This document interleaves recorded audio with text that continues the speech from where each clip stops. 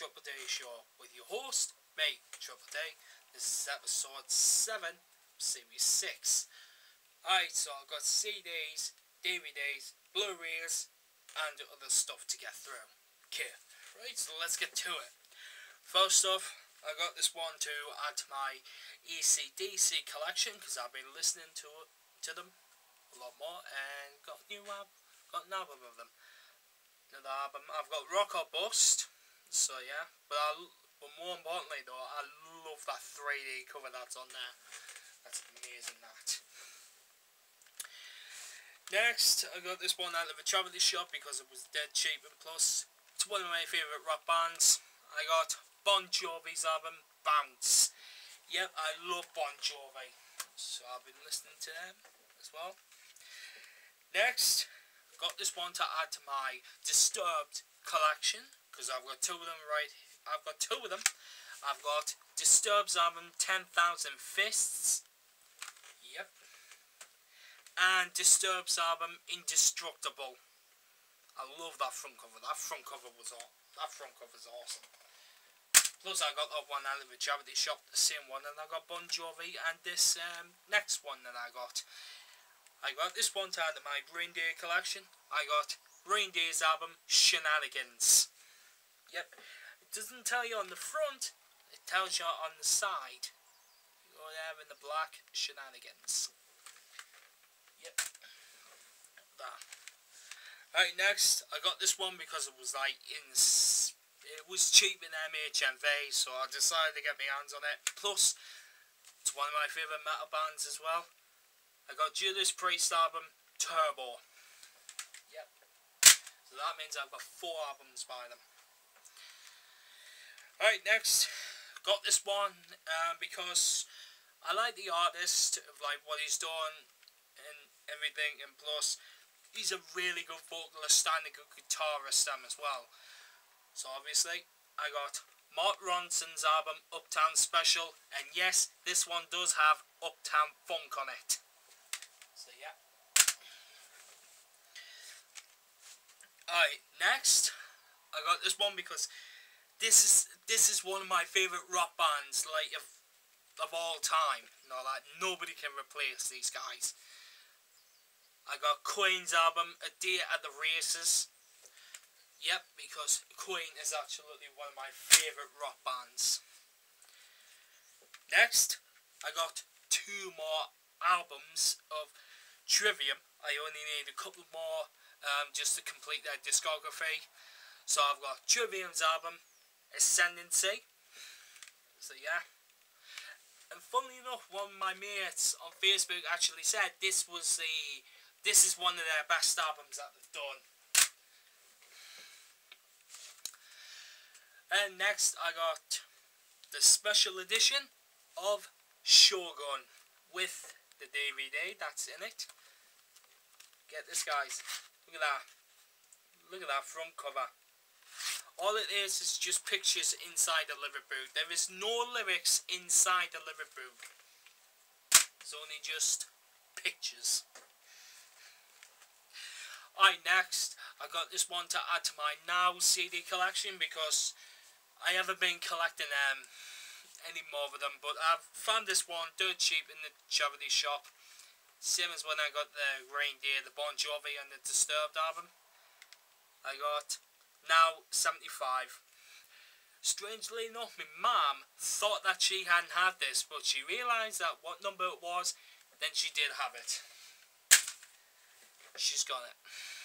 Alright, next is the DVDs. Right, this one, um, it's not the best um, zombie film I'm saying. It's just a meh, no that. But the strange thing enough is, it does involve TNA wrestlers. You guessed it. I got wrestlers versus zombies. When I first saw the trailer for this, I was like, meh, no that. But when I but when I sat down with a couple of mates and watched the watched the entire film, it was basically it was trying to be like a zombie film, but it it isn't. It's not whatsoever. Alright, last out the DVDs, I got the third film to the Cornetto trilogy. World's End. Not the strongest one out of the Cornetto trilogy. It was trying to be funny, but obviously enough, it, it, it wasn't. Um, what was Simon Pegg and Nick Frost actually, I'm thinking, and plus the director, um, Edgar Wright, um, as well. So that's that. Right. Next is the Blu-rays. I got of few, so obviously enough. Let's get let's get to it. Alright, first I got 12 Rounds Reloaded with Randy Orton in it as the main character. I'm I'm gonna be honest with you here. I know how much I love John Cena the most, but in terms of films like uh, when he's done like um 12 rounds, he's okay with it. But 12 rounds reloaded, Randy Orton does a little bit better job than um, John Cena. Sorry, John Cena, but Randy Orton just beat you on that one. Alright, next, I got the film which is really good when I first saw it. And as well, it was awesome as hell. I got 300. This is Sparta! Literally, this is a really brilliant film. Need to get my hands on the second one, Rise of an Empire. Alright, next I got Disney's 31st classic and RIP Robin Williams, Aladdin. Aladdin, yeah. This is a really good Disney film. It's it's great. I just all the Disney classics have been really good. None of them have ever been bad. Next, um, it's Disney's 30th classic, Beauty and the Beast, Diamond Edition with DVD. If I'm going to be honest with you guys, I love the storyline in this film. The story and the animation is what made it great. Now that's all the stuff. Next is, You Are the One. You are the one, Neo. The Matrix. yep, I got the first one because this is um this is the best one out of the trilogy. Second one was great. You can still watch it, but the third one was nah. It was trying, but it didn't. But it didn't work out. But that one did very well for it. Alright, next I got the special exhibit double packed edition of Night of the Museum 1 and 2 with triple play so that means both films have both the Blu-rays, the DVDs, and the digital copies inside of them. So this one's really great. In fact, number two, what I gotta say, was really great. Number one, honestly enough, oh, mind blown. Alright, next, um, is a film which of which is based off a fighting game which I honestly love and honestly I think it is better than Street Fighter, but that's just my own opinion. I got the film Tekken. If I'm going to be honest with you, it's not very good. The only thing that let it down the most was the fact is is that the arenas, the arena was the same. If they had put it in different locations, like in the desert or safari, like um, in the desert, forest, everything and all that, that would be great. That would have made the film a hell of a lot more better. The only thing that dwelled down in it was just the arena. Alright, and last, I got this one to add to my X-Men collection. I got X-Men The Last Stand. Awesome film.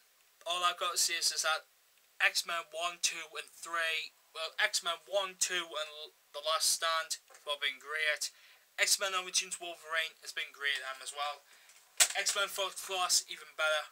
X and uh, the Wolverine, I've only seen like um, half of it, but it's alright.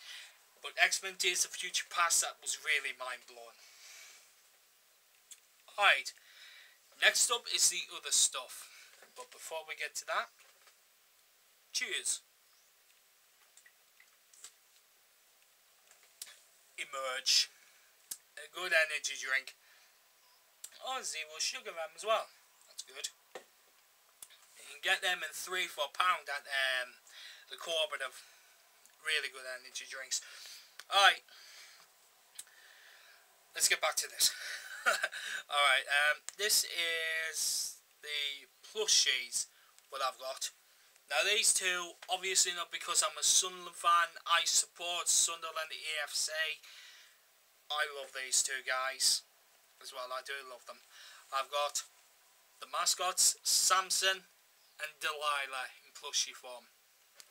Honestly enough, these are really great them as well. The only thing that lets it down about these two is, is that their feet. Samson's got trainers on, and Delilah's only just got normal shoes on. But when you see them in like um, mascot formation, they both got exactly the same shoes, they're both red. Right, and next, well, and last are the Tsum Tsums. Now, all these are the night before Christmas ones because they came out on the Tuesday that they were released.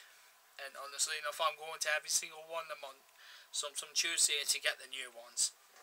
So first off, we got Jack Skellington, just as normal. That's that. Next we have his trusted companion, Zero. Yep, Zero. Next we have Jack Sandy Claws, which I which him in like the Santa Claus outfit. Santa Claus outfit. Next we have his girlfriend, Sally.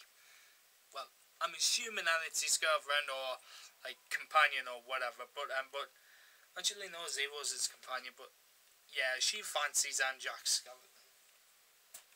That's that. Alright, next we got Shock. So yeah. Shock because of the hair and all like that is just blue. Plus, they say electricity is blue, but I don't, I don't, we can't see what colour it actually is. Next, you got Barrel. So yeah. So yeah, I've got one thing to say to you. What? Two Barrel. Fail. anyway, next we got Lock. Now, honestly enough, I don't know why he's called Lock for. Because he's got the he's got Satan's tail. Well, obviously enough, he's meant to look like Satan. So I don't know why he's called Lock for. Alright, and last is Vampire. Now, would you honestly to believe it? Doesn't actually look like a vampire because it doesn't even have the two teeth like what you see like vampire at the front. So it's just got a wiggly smiley face just staring into your soul. Stares into your soul. Sorry. Anyway, that has been the Triple D Show, episode 7 series 6. I hope you've enjoyed it, and peace!